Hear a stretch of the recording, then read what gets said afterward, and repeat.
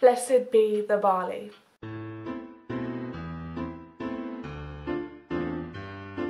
Hi guys and welcome to this week's episode of The Handmaid's Ale. I am Hannah and I am The Handmaid's Ale.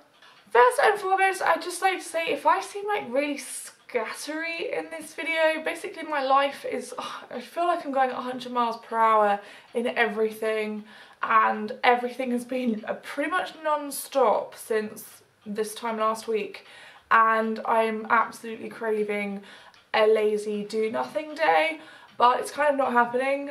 Um, I had loads of work and then I went to Bristol and then I've been volunteering today and I'm trying to film a load of other stuff on my other channel and my brain is just going to explode.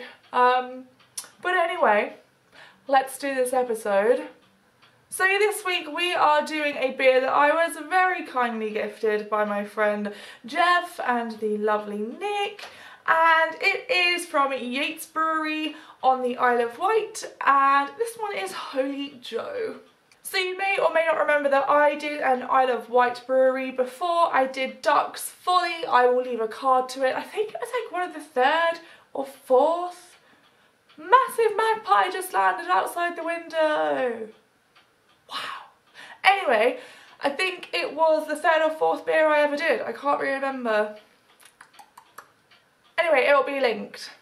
So about Yates Brewery, if you do live on the Isle of Wight then you'll probably know Yates as the biggest distributor of alcohol and soft drinks and sort of beer pub supplies um, on the Isle of Wight. They don't, I believe, do any business on the mainland and they are the biggest wholesaler of that sort of thing on the island but they actually started off as a brewery. So back in 2000 it was a father and son team. Um, Papa Yates as I'm going to call him he started it off as a brewery in um, I think it was like on the side of an old pub and he just started that off. And then son Yates, Yates son he joined the business in 2001 and became the wholesaler that it is today.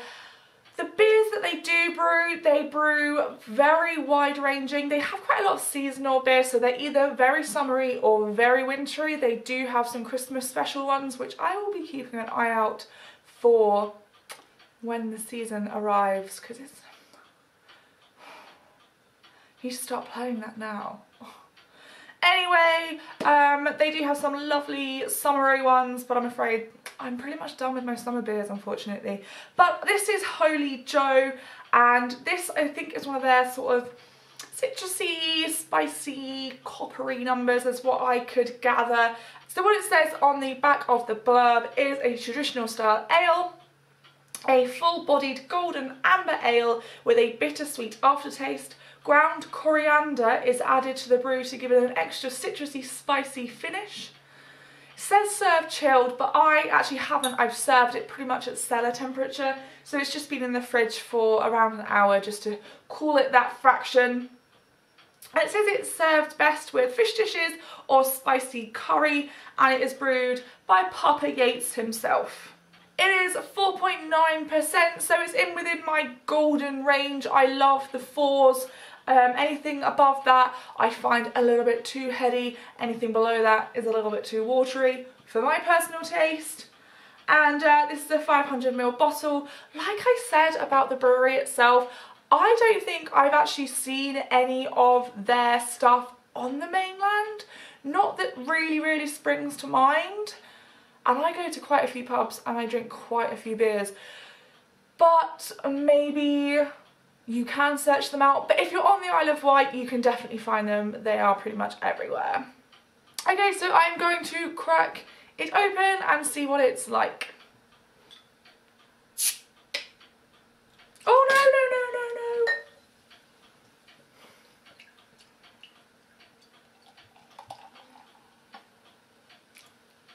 Eek. okay so apparently an hour just chilling in the fridge wasn't enough to cool to calm it down. So I can smell it because I've spilt it all over the table, but let's give it a proper proper sniff. Give it another wipe actually. Okay. Smells citrusy and hoppy. I'm not getting spice or coriander just yet. Okay, so the colour is very amber. It looks actually like natural amber, which is lush. Okay, I'm going to taste it. So I should be tasting a bittersweet aftertaste and a bit of spicy citrus.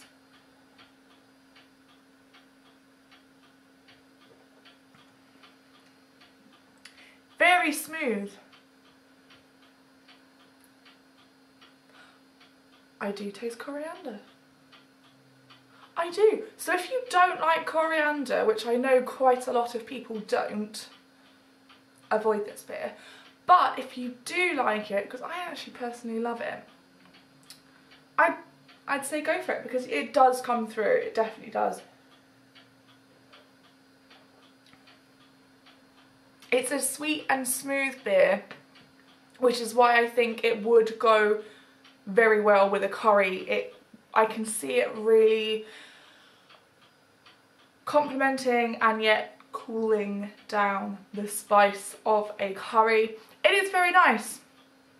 It doesn't have a very strong aftertaste um, and it, do you know what, it doesn't taste 4.9%.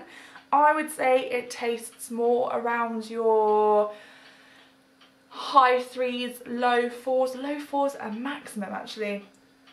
It's a bit too sweet for me. I am enjoying it, but I think it does need does need food to go well with it. If I had food, I could probably have a couple of them. And if you know me or if you've watched enough of these videos, you'll know that I don't have very sweet tooth and I way do prefer more savoury tastes. This is a bit too syrupy. I'm almost going to, yeah, it is syrupy. It does kind of coat your mouth in a syrupy way. Saying that though, I think I'm going to give Holy Joe from Yates Brewery a 3 out of 5 stars.